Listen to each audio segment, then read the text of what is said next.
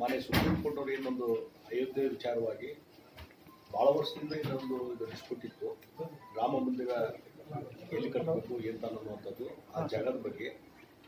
ಅದಕ್ಕೆಲ್ಲ ಒಂದು ಇತ್ತೀಚೆಗೆ ಹಾಡುವ ರೀತಿಯಲ್ಲಿ ಒಂದು ಐತಿಹಾಸಿಕ ತೀರ್ಪನ್ನು ಮಾನ್ಯ ಸರ್ವಶ್ರೇಷ್ಠ ನ್ಯಾಯಾಲಯ ಕೊಟ್ಟಿದೆ. ಈ ತೀರ್ಪನ್ನು ನಾನು ಮೊಟ್ಟ ಮೊದಲ ಬಾರಿಗೆ ನಾನು ಅದನ್ನು ಸ್ವಾಗತ ಮಾಡ್ತಾ ಇದ್ದೇನೆ. ಬಹಳ ಅತ್ಯುತ್ತಮವಾದಂಥ ತೀರ್ಪು. ಬಹುಶಃ ಒಂದು ಸೌಹಾರ್ದತೆಯನ್ನು ಕಾಯ್ದುಕೊಳ್ಳುವಂಥ ತೀರ್ಪು. ಮತ್ತು ಇಡೀ ನಾಡಿನ ದೇಶದ ಇವತ್ತೇನು ಕೋಟ್ಯಾಂತರ ಜನ ಏನಿದೆ ಅವರ ಒಂದು ನಂಬಿಕೆ ಇದೆ. ಅಯೋಧ್ಯೆಯಲ್ಲಿ ರಾಮ ಹುಟ್ಟಿದ್ದಾನೆ. ಅಯೋಧ್ಯೆ ರಾಮನ ಜನ್ಮ ಸ್ಥಾನ ಈ ಒಂದು ನಂಬಿಕೆ ಇದಲ್ಲ. ಆ ನಂಬಿಕೆಗೆ ಪುರಸ್ಕಾರ ಮಾಡುವಂಥ ಒಂದು ತೀರ್ಪು. ಮತ್ತು ಅವರು ನಿರ್ದಿಷ್ಟವಾಗಿ ಆ ಡಿಸ್ಪ್ಯೂಟೆಡ್ ಏನು ಸ್ಥಳ ಇದೆ. ಅದು ಕಂಪ್ಲೀಟ್ ಅಲ್ಲಿ ರಾಮ ಮಂದಿರ ಆಗಬೇಕು. ಅದನ್ನು ನಿರ್ಮಾಣ ಮಾಡುವಂಥ ಜವಾಬ್ದಾರಿ ಕೇಂದ್ರ ಸರ್ಕಾರಕ್ಕೆ ಕೊಟ್ಟಿದ್ದಾರೆ. ಮತ್ತು ವಿದಿನ್ ತ್ರೀ ಮಂತ್ಸ್ ಮೂರು ತಿಂಗಳೊಳಗಾಗಿ ಅಲ್ಲಿ ಒಂದು ಟ್ರಸ್ಟನ್ನು ಮಾಡಿ ಅಲ್ಲಿ ರಾಮ ಮಂದಿರ ನಿರ್ಮಾಣ ಮಾಡುವಂಥದ್ದು. ಮತ್ತು ಇವರಿಗೆ ಮುಸ್ಲಿಂ ಕಮ್ಯುನಿಟಿಯವರಿಗೆ ಒಂದು ಮಸೀದಿ ಕಟ್ಟಲಿಕ್ಕೆ ಒಂದು ಐದು ಎಕರೆ ಜಮೀನನ್ನು ಅಯೋಧ್ಯೆಯಲ್ಲಿ ಕೊಡುವಂಥದ್ದು. ಎಲ್ಲವೂ ಸಹಿತ ಅಂದರೆ ಇವತ್ತು ಎಲ್ಲರಿಗೆ ಒಂದು ಒಂದು ಐತಿಹಾಸಿಕವಾದ ತೀರ್ಪನ್ನು ಇವತ್ತು ನಮ್ಮ ಸರ್ವೋಚ್ಚ ನ್ಯಾಯಾಲಯ ಕೊಟ್ಟಿದೆ. ಅದನ್ನು ನಾನು ಸ್ವಾಗತ ಮಾಡ್ತೀನಿ. ಮತ್ತು ನಾನು ನಾಡಿನ ಜನತೆಯಲ್ಲಿ ಎಲ್ಲರಲ್ಲಿ ನಾನು ವಿನಂತಿ ಮಾಡುವಂಥದ್ದು, ಇವತ್ತು ಭಾಳ ವರ್ಷಗಳಿಂದ ಇದೊಂದು ಏನೋ ಡಿಸ್ಪ್ಯೂಟ್ ಇತ್ತು. ಈ ರೀತಿಯಾದಂಥ ಒಂದು ಒಂದು ರೀತಿಯ ಅತಂತ್ರ ಪರಿಸ್ಥಿತಿ ಇತ್ತು. ಹೀಗಾಗಿ ಇದ್ರ ಬಗ್ಗೆ ವಾದ ವಿವಾದಗಳಿದ್ದು ಎಲ್ಲದಕ್ಕೂ ಒಂದು ಇತಿಶ್ರೀಯನ್ನು ಸರ್ವೋಚ್ಚ ನ್ಯಾಯಾಲಯ ಇವತ್ತು ಆ ಇತಿಶ್ರೀ ಹಾಡಿದೆ.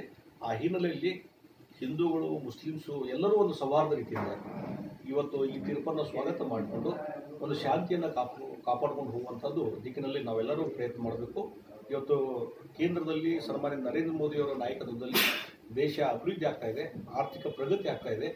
ಇಡೀ ಜಗತ್ತಿನಲ್ಲಿ ಭಾರತಕ್ಕೆ ಒಂದು ದೊಡ್ಡದಾದಂಥ ಒಂದು ಒಳ್ಳೆಯ ರೀತಿಯಾದಂಥ ಒಂದು ಹೆಸರು ಬರುವಂಥ ಸಂದರ್ಭದಲ್ಲಿ ಇವತ್ತು ಇಲ್ಲಿರ್ತಕ್ಕಂಥ ಎಲ್ಲ ವರ್ಗದ ಜನ, ಅದರಲ್ಲಿ ಹಿಂದೂ, ಮುಸ್ಲಿಮರು ಒಂದಾಗಿ, ಒಗ್ಗಟ್ಟಾಗಿ ಇವತ್ತು ಈ ಒಂದು ವಿವಾದವನ್ನು ಸರ್ವಾನುಮತದಿಂದ ಇವತ್ತು ಅಲ್ಲಿ ಐದು ಜನ ಜಡ್ಜಸ್ ಎಲ್ಲರೂ ಸಹಿತ ಒಂದು ಸರ್ವಾನುಮತದ ತೀರ್ಮಾನ ನಾವು ಬೇರೆ ಬೇರೆ ಇಶ್ಯೂಗಳನ್ನ ನೋಡಿದ್ದೇವೆ. ಏನಿದೆ, ಎಲ್ಲರೂ ಕೂಡಿಕೊಂಡು ಒಂದು ಸರ್ವಾನುಮತದ ತೀರ್ಮಾನ ಕೈಗೊಂಡಿದ್ದು ಇದು ಒಂದು ಒಳ್ಳೆಯ ರೀತಿಯ ಒಂದು ಲಕ್ಷಣ.